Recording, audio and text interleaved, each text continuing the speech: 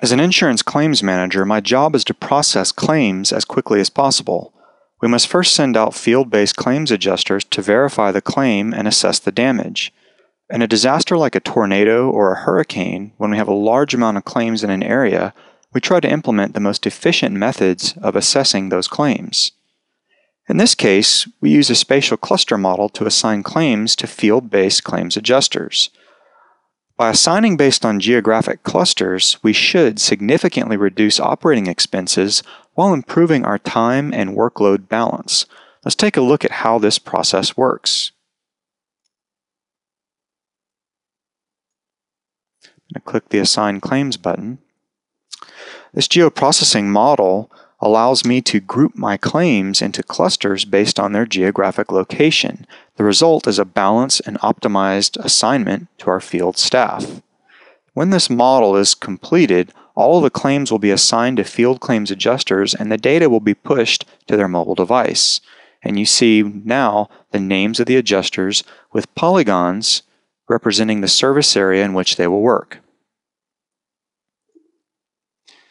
Now, as a field based claims adjuster, it is my job to assess the claims in person. I can access and update assigned work directly from the Windows mobile device. On my screen, you can see the work that has been assigned to me by the claims manager. When I visit each location, I can record property damage information digitally with my device. So I'll begin that process. Zoom in a little bit. And there's an area that we'll visit. I'm going to visit this house on Queens Ferry Lane and I'm going to update some information about this particular property as I visit it. Based on my assessment, I'm going to leave a comment for the claims manager to see. I'm going to save my changes. Now, as I finish each claim, the information is pushed back to our corporate claims system for immediate processing. So my work as the field adjuster for this particular claim is done. Now, back in the office, as the claims manager, I'm reviewing the work from all of my field adjusters, ensuring that the process is moving as quickly as possible. My view in this web portal is dynamic, meaning that I am viewing the data in real time as it is updated by field staff. So, refreshing our map displays any changes that have occurred since our last map interaction. In this case, we can see the information that was just submitted by our field adjuster just a moment ago. So here, if we look in this area where my mouse is hovering, we have the red and blue push pin. If I zoom into that area, I want you to pay particular attention to that push pin on the left of the blue.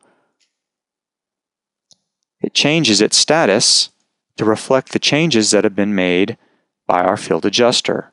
In this case, we can see who it was assigned to, the estimates, and the comment that was left, uh, which in this case says significant roof damage, and I have to agree based on that picture. So allowing field personnel to synchronize information back to the office provides a much faster turnaround for each claim. And in turn, this spawns a much, much faster response time for repairing the damaged, uh, damaged property for the homeowner. Now, what you've just witnessed is powered by server based GIS. I have almost completely eliminated the need for faxes and paperwork, and this is almost certain to expedite the process by which insurance claims are handled and create a more efficient business model.